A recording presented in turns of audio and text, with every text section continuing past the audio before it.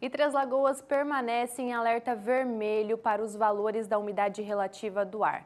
Na quinta-feira, no último dia 15, o município atingiu 12% de umidade, o que é comparado ao clima de deserto. E nesta sexta-feira, né, hoje 16, o cenário previsto é o mesmo, né, com tempo firme e as temperaturas acima da média. Vamos lá para fora para saber como está o tempo aqui em Três Lagoas. Olha só essas imagens para para vocês que estão acompanhando, tempo aberto aqui e cinzento ao mesmo tempo, né? Tá seco, gente, tempo seco em Três Lagoas, em algumas cidades da região leste também tá passando por isso. Então, olha, e aí fica o alerta para todos vocês, né, cuidarem melhor da saúde. Por isso, recomenda-se beber bastante líquido, né, e umidificar os ambientes. A população deve ficar atenta, principalmente com as queimadas nesta época do ano. Não ateie fogo em nenhuma situação, pois as condições climáticas são favoráveis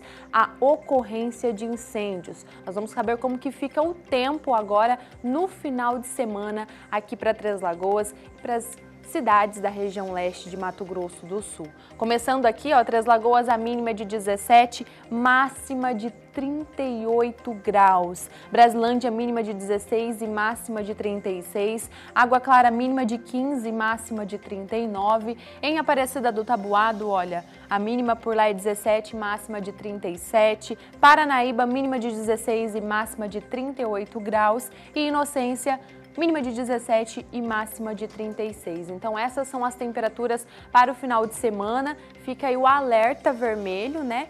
Por condições climáticas, pela umidade relativa do ar aqui em Três Lagoas, no Mato Grosso do Sul e as demais cidades da região leste.